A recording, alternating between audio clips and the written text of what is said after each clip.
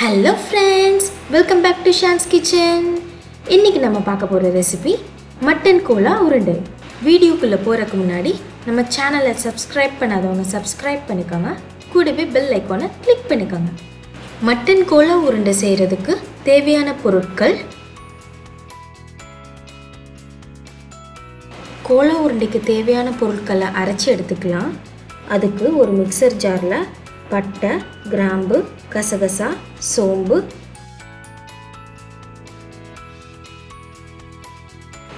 ரெண்டு பச்சை மிளகா அஞ்சு வரமிளகா ஒரு டேபிள் ஸ்பூன் இஞ்சி பூண்டு விழுது ஒரு கப் துருவின தேங்காய்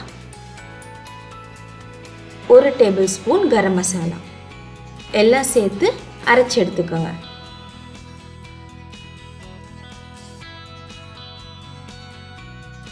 இதில் இப்போது நம்ம பொடியை நறுக்கி வச்ச வெங்காயத்தை ஆட் பண்ணி அரைச்சி எடுத்துக்கலாம்.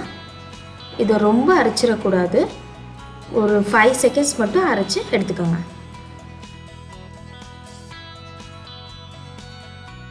நம்ம அரைச்சி எடுத்த மிக்சரை கொத்துக்கறியோடு ஆட் பண்ணிக்கலாம்.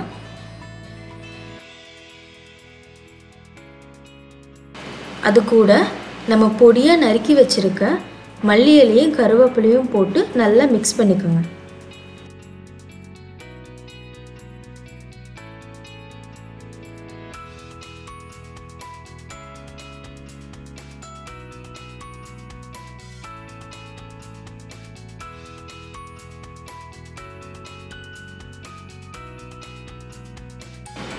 இது கூட உங்கள் தேவைக்கு ஏற்ற மாதிரி நாலுலேருந்து அஞ்சு டீஸ்பூன் கடலை மாவு ஆட் பண்ணிக்கோங்க.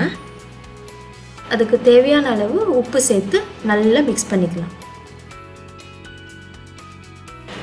இப்போ கோலா உருண்டைக்கு தேவையான மிக்சர் ரெடி ஆகிடுச்சு இதை சின்ன சின்னதாக உருட்டிக்கலாம்.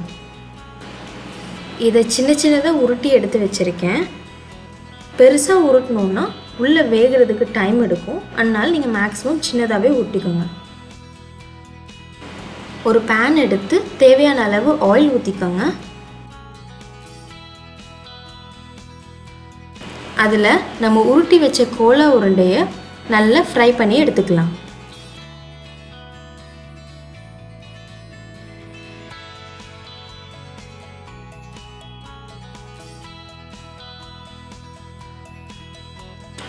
மீடியம் ஃப்ளேமில் வச்சு நல்லா ஒரு கோல்டன் ப்ரௌன் ஆகிற வரைக்கும் ஃப்ரை பண்ணி எடுத்துக்கோங்க.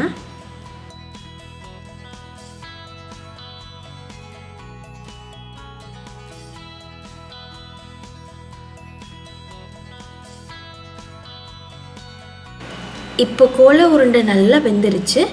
இதை நம்ம இப்போது சர்விங் பிளேட்டுக்கு மாற்றிக்கலாம் சுவையான கோலா உருண்டை ரெடி இதை நீங்கள் வீட்டில் ட்ரை பண்ணி பாருங்கள் சிறுசுலேருந்து பெருசு வரைக்கும் எல்லாத்துக்கும் ரொம்ப பிடிக்கும். இந்த ரெசிபி உங்களுக்கு பிடிச்சிருந்தா லைக் ஷேர் சப்ஸ்கிரைப் பண்ணுங்கள் எங்கள் ஃபர்தர் அப்டேட்ஸ்க்கு இன்ஸ்டாகிராம் அண்ட் ஃபேஸ்புக் பேஜை ஃபாலோ பண்ணுங்கள்